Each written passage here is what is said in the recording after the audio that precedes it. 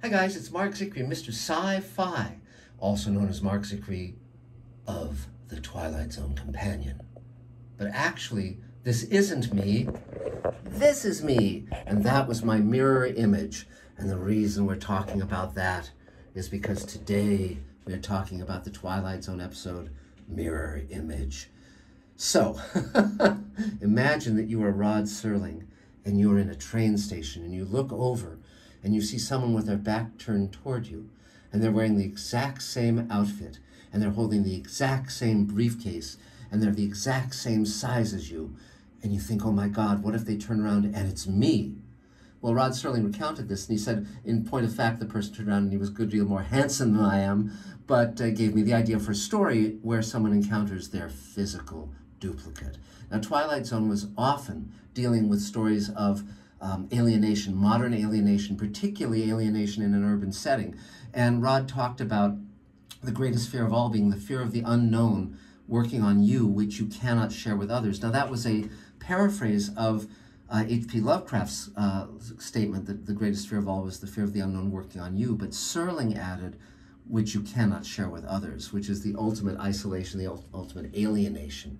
So it was. So he wrote the episode Mirror Image, and John Brown, John Brahm, who had done uh, uh, Time Enough at Last and many other Twilight Zone episodes to come, would direct this, and it stars Vera Miles, who around the same time was shooting uh, Psycho, where she played uh, the sister of, uh, of Janet Leigh. And uh, she's wonderful in this. She's very good at, at a woman waiting in, in a station where she starts to see a duplicate of herself that she's worried is going to take over her life and supplant her.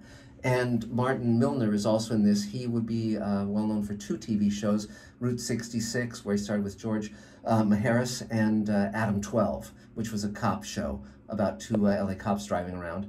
And uh, it's a wonderful paranoid fantasy. I mean, this is uh, Rod Serling. We've talked about how Rod was writing about the different tropes of science fiction, uh, alien invasion, and uh, space travel, time travel, etc. Well, here he's dealing with the notion of parallel dimensions and parallel Earths.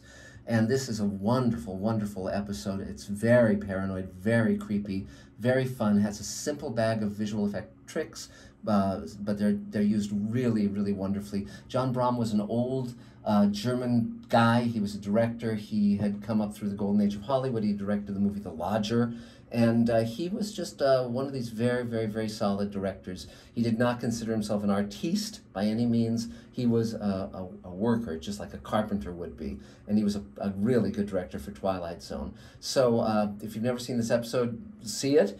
If you are, uh, you know, used to uh, there being just one of you, it may give you nightmares. And meantime, if you want to see more Twilight Zone content, I'm posting these Twilight Zone minutes every day on Mr. Sci-Fi, so subscribe to Mr. Sci-Fi.